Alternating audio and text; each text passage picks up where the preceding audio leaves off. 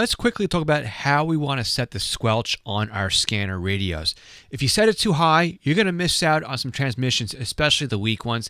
And if you set it too low, all you're going to hear is static, and it's really not going to be an enjoyable scanner radio experience for you. So, the first thing we want to do is figure out where the squelch dial is on our scanner radio. On radios like this Radio Shack radio here, it is a separate dial next to our volume knob. And on this Whistler radio, it is outside of the volume knob. So the center pin here is the volume and the outside collar is our squelch. And on a radio like this Uniden radio, where you have a combo knob, what you have to do is first press function, then press down, and then you can adjust your squelch. So it's very important to know how to adjust the squelch using the scanner radio that you have at your disposal.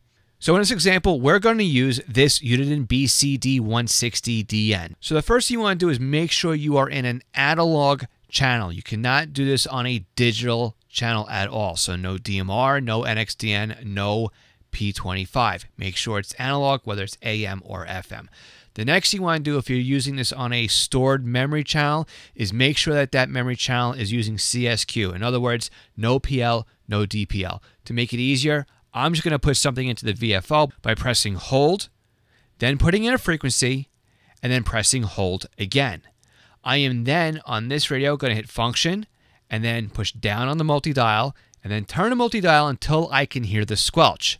Then what I'm going to do is I'm going to raise the squelch until the noise stops. Once we're at a point where we're no longer hearing the background hiss coming through our scanner speaker, our squelch is set.